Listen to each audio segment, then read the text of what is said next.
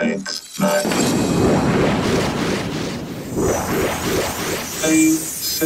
nine.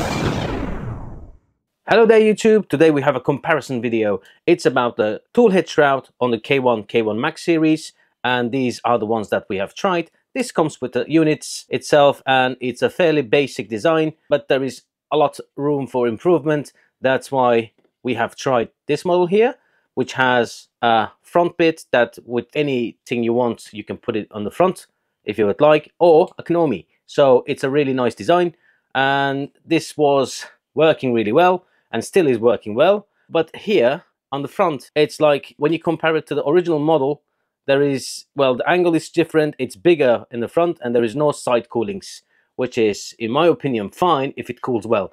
This does cool well, but it's a bit heavy um, because all these sides here, like on this one, is like there are like holes in there, but it's more like for ventilation than to uh, get like less weight on it.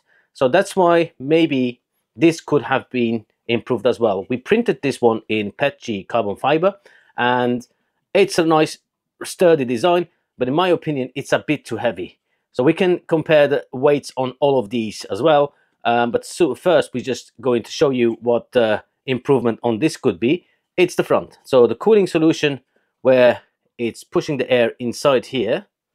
Let me try to show you guys. So here it goes in and has one hole so it doesn't separate anything at all it's just a simple basic design as well but it works it has been working well on my setup and I was fairly happy with this so and this one There she is is. special isn't it if you look at it it's like a skeleton there is not much going on here but in the front you can see that the design is it has two holes instead of one and it's broader so when you could look here you can see how much broader it is. So it's go going all the way to the sides here on this one. And because it has like two holes, it's been separated by on the top bit here. This is a better print than I've done and it didn't come out really nice, not really clean. Then we reprint it and we put it on the printer.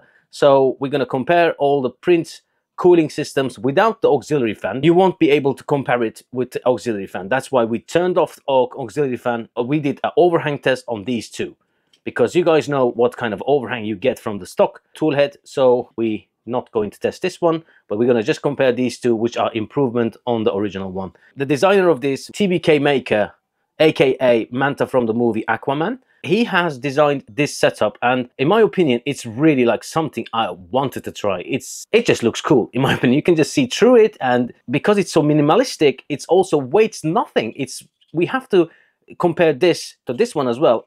I can feel that it is much more, but we're going to put it on a scale to see how much this one weighs more. Let's weight all these three so we can see how much of a weight reduction we can get by setting up this latest model of the shroud. This video is sponsored by PCBWay.com, the world's go-to supplier for premium custom circuit boards. Tell us what you need, then let us design and manufacture your PCBs to the highest level. Low print runs and 24-hour turnarounds with assembly starting from just $5.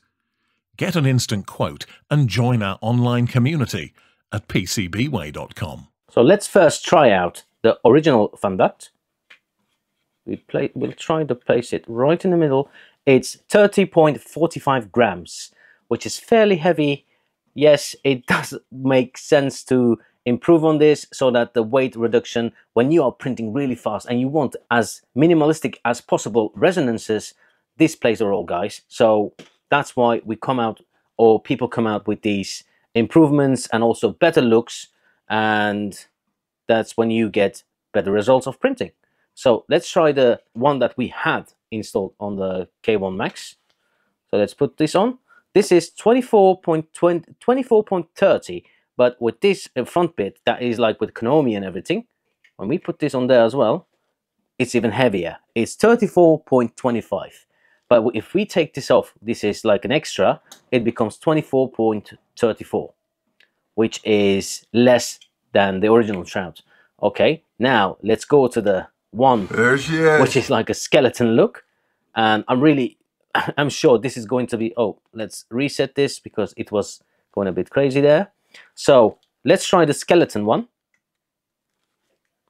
13.18 grams. This is, okay, it's a little bit around that, 13.21 grams, which is a really nice improvement on the original and also on the uh, second version that we had before.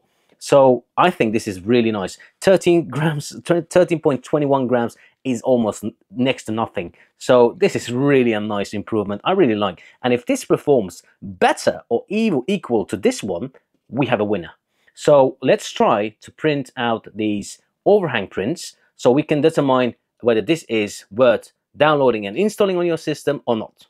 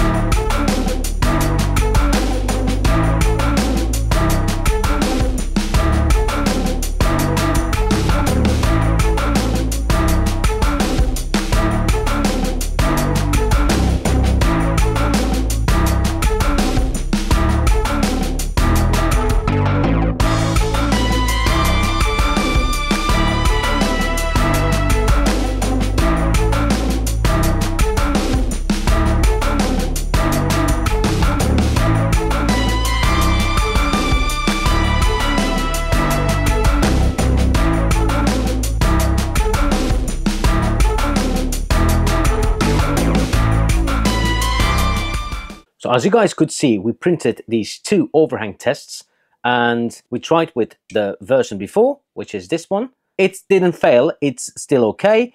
It is nice, so as long as it doesn't fail, it's kind of okay.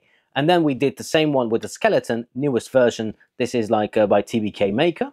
And this one came out even better. So yes, let's try and look at the corresponding X and Y axis. Like I'll just put them at the same side here. Uh, this is Y and Y. So let's start off with this one. So as you guys can see, there, there was a, almost a failure here. I think it's even skipped layer. I don't know what happened there, but th that this is a failure. So it's not even at the at the end. It's where it's not supposed to have a failure, and also on the other side. So on the second overhang here, same, actually around the same level, it had the same thing again. If you look carefully, it did finish up until the end. All of them are finished up, and this one is actually pretty clean.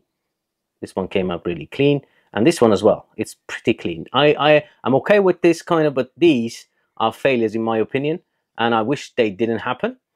But you see that on this side, it's the X side. On the right side, it happened on both sides. The X-axis here on the right side, so the Y here on the back, and also on the right side here, it happened, there is a failure point. Let's look at this uh, skeleton one. And yes, there is no failure points. I'll just try to zoom in here. So As you guys can see, it finished up until the end without any failure points. Really nice. Some of them are better than the others. And this is also really fine. And I think this is the least finest one. This stick sticks out a little bit. This is overcooling. Airflow pushes this. It had a little bit of difficulty making these uh, bridges. That wasn't a problem on these sides because the airflow is going this side and here either and here neither. So in, in general, if we dial down the airflow, then I think this would have been perfect as well. But this is a really nice result, in my opinion. I really like this design over this one now. This one was my favorite over the original Shroud, and now this one is my favorite. And you can have this also on a less skeleton look like, and it's also on the description below. You can download both of them, try them both out. Uh, but I like this one better. Why? It's completely almost see-through. I like special things. I like extraordinary stuff. So yeah, this is going to be the one that I'm going to use. And also, at the same time, this will weigh less than the other model. I hope you have understand and maybe you want to try this one out as well. And maybe you have this one. This one will be also in the description below if you want to use a Knomi, for example. It's a nice solution as well. Yeah, I'm not saying this one is bad. This one is just better. That's what I mean. So if you don't care about the looks of your shroud, go for this. I mean, I would go for this because I don't use a Knomi. And yeah, channel logo was a nice thing to have there. But yeah, we can get that aside and then we can use this one instead for now. This will most likely be the last video for now about the K1 uh, series because as you guys know, there's going to be a K2, uh, K2 Plus uh, coming out and it's going to be most likely uh, reviewed, being put on the channel and we are really excited about the multi-material system that Creality is coming out with. We're more excited if it's an open source project because if it's an open source, everyone can use it. Like any printer that is Klipper based can use it with probably a little bit of modification on the tool head. I hope you guys liked this video. Hit the thumbs up if you liked the video. Hit the thumbs down if you didn't like the video. Subscribe to my channel if you would like to see more content like this in the future. Bye!